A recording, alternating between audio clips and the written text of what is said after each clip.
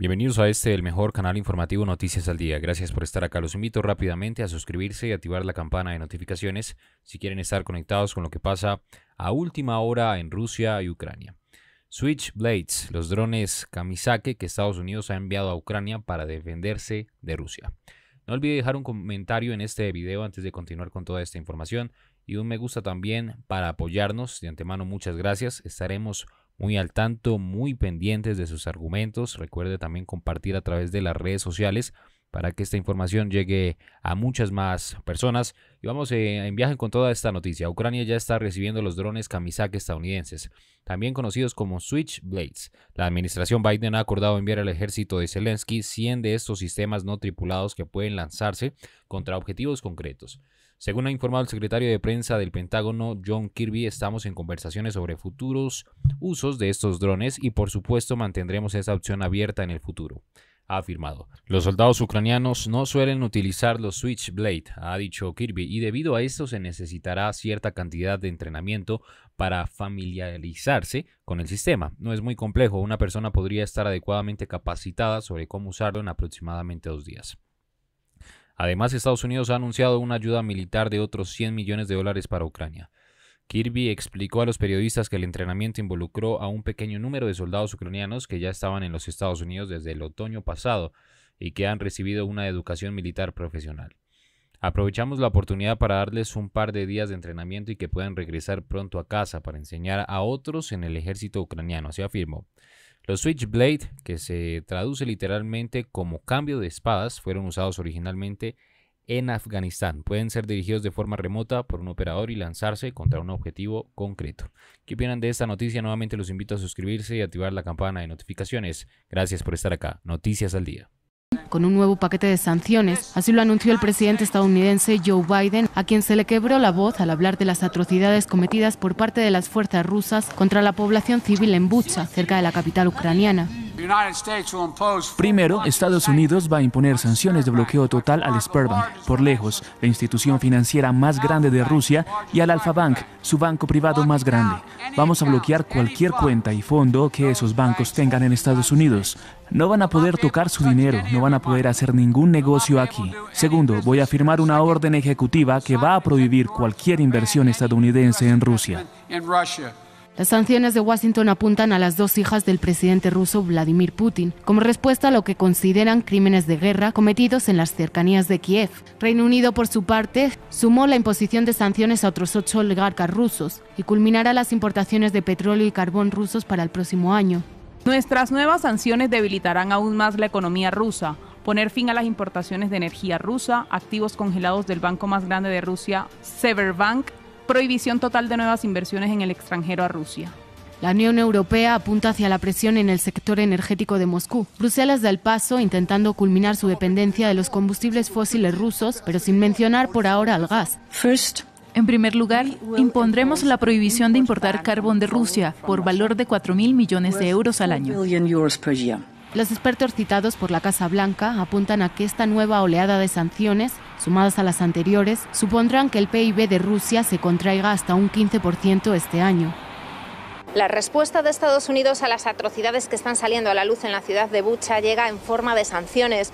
Biden dice que ya dejó claro que Rusia pagaría un precio alto y hoy anuncian una nueva ronda de castigos a la economía rusa. Prohíben todas las inversiones en ese país, castigan a sus dos principales bancos y sanciones también a individuos, entre ellos dos hijas de Putin y la esposa y la hija del ministro de Exteriores. Además, el Departamento de Justicia dice que no van a dejar piedras sin levantar para castigar a todos los que intentan esquivar las sanciones. Hoy han presentado cargos contra un oligarca ruso por violar las sanciones. Es la primera vez que imputan a un ruso por esto desde que empezó la guerra. La Casa Blanca dice que si en algún momento Rusia cambia de rumbo en esta guerra, estas sanciones se pueden rebajar o incluso revocar, pero ahora mismo aquí en el gobierno no creen que una desescalada esté entre los planes de Rusia. Y otra cosa, el fiscal general dice que está colaborando con los aliados europeos para recabar pruebas de posibles crímenes de guerra cometidos por Rusia. Dicho y hecho, el presidente estadounidense Joe Biden ha confirmado a través de las redes sociales el endurecimiento de las sanciones a Rusia por sus atrocidades en Bucha. Sanciones que van dirigidas contra las dos hijas del presidente ruso Vladimir Putin, María y Katerina, así como contra la esposa del ministro de Exteriores Sergei Lavrov y varios miembros del Consejo de Seguridad ruso.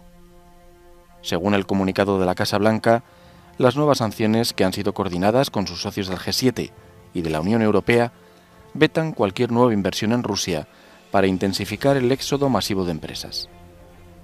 Además, este nuevo paquete de sanciones afecta a los dos principales bancos rusos.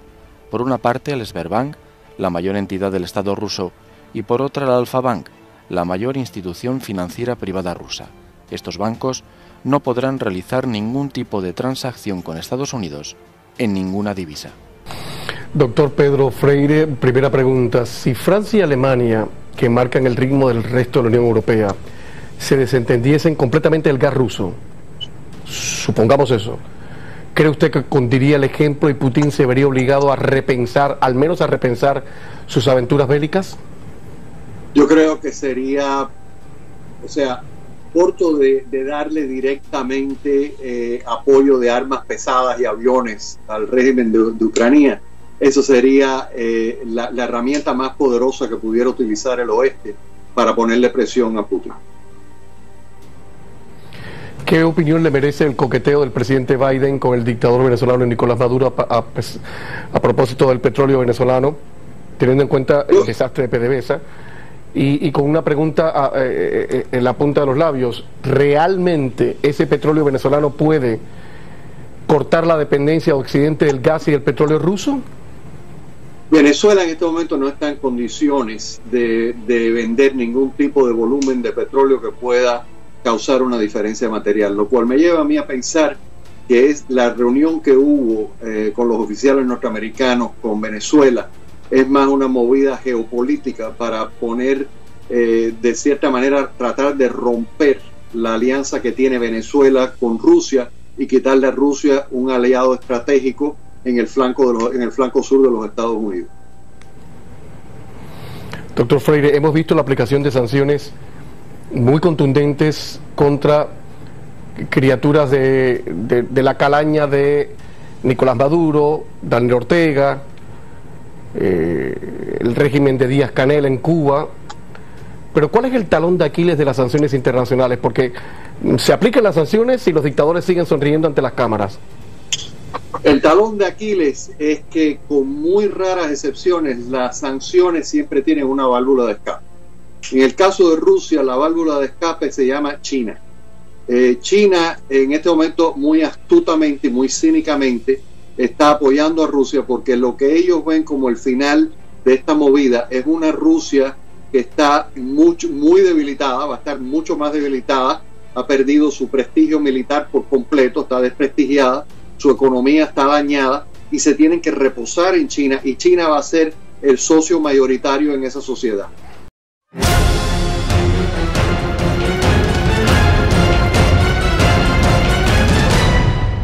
Si no te quieres perder de los últimos acontecimientos que pasan en el mundo, suscríbete y activa la campana. Somos Noticias al Día.